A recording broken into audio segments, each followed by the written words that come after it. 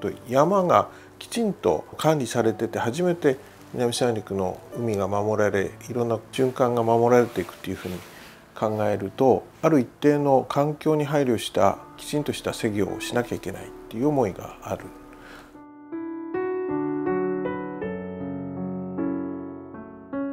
一緒に付加価値を作っていきましょうという思いがあってうちは COC 認証を取得したんですね。